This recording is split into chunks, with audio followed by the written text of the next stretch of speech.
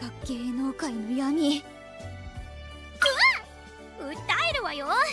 証拠は動画で押さえたけどどうする？皆さんの心に残るようなそんなお芝居ができるといいなって思っています。これが芸能界の闇。今日のスケジュールハードだったしストレッチとかしっかりやらなきゃ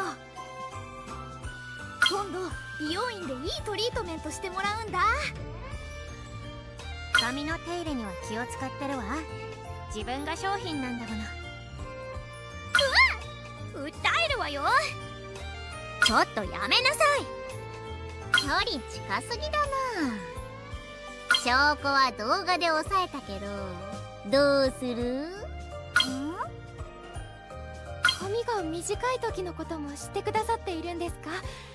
ありがとうございます。どうしました？腹式呼吸には自信があります。演劇の基本ですから。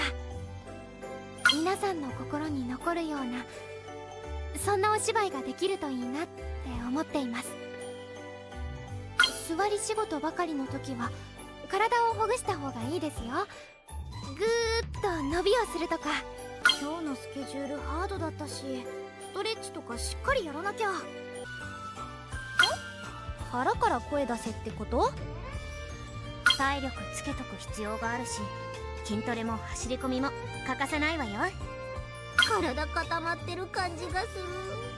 昨日ずっと座り仕事してたんだよね。プリンじゃないから失礼なこと言わないで。何？頭に何かついてた？今度美容院でいいトリートメントしてもらうんだ。